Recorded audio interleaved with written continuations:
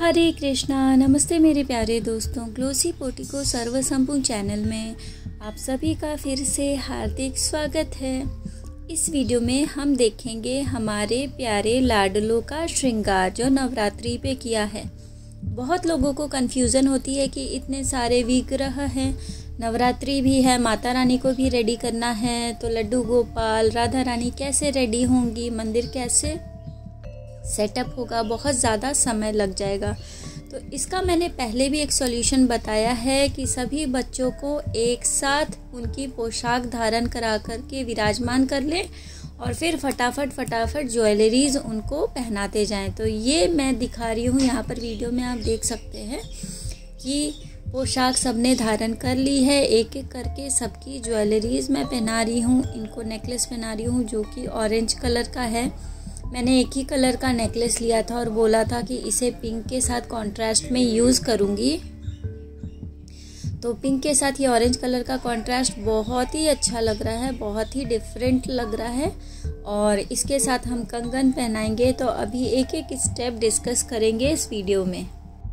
अब double layer की माला पहना रहे हैं तो इनकी लेंथ हाइट अच्छे से देख लें ताकि ये अच्छे से विजिबल हो जाएँ।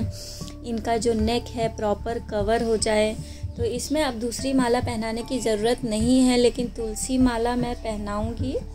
तो अभी आप देख सकते हैं कि हम हम कंगन पहना रहे हैं पिंक कलर का, और इसके बाद छोटा छोटा श्रृंगार जो बचा है मुकुंद का, वही करेंगे। ज़्यादा कुछ भी हैवी नहीं करने वाले हैं। ये माता रानी का दिन है। माता रानी को बहुत अच्छे से रेडी करें।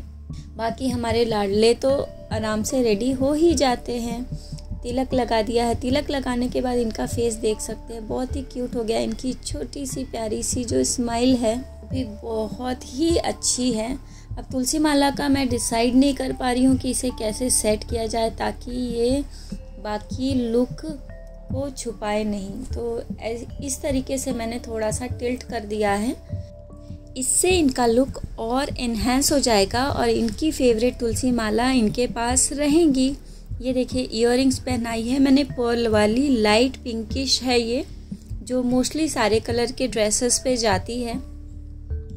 तो अब हो गए हैं हमारे मुकुंद बाबू रेडी अब कान्हू कृष्णवी को हम रेडी कर रहे हैं। इनको भी पोशाक पहले से धारण करा दी है, ताकि हमें ज़्यादा समय ना लगे इन्हें रेडी करने में।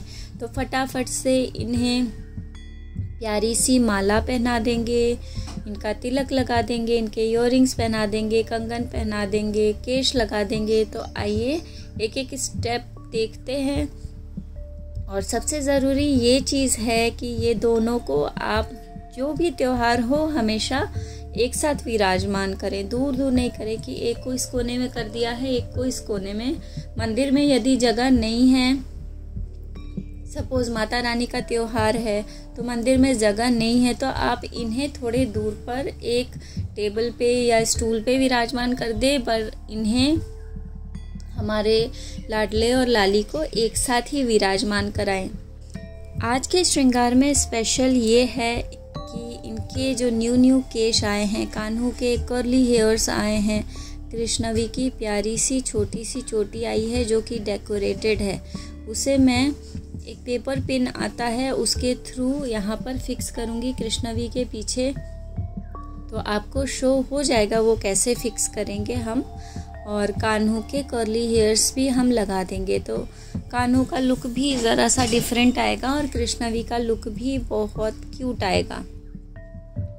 साथ ही साथ हमें जो केश लगाना है, उसके ऊपर यदि वो सेट नहीं भी होता है, आप देख सकते हैं वीडियो में, ये अच्छे से उतना सेट नहीं हो पा रहा है तो धीरे धीरे ये सेट होने लगेगा।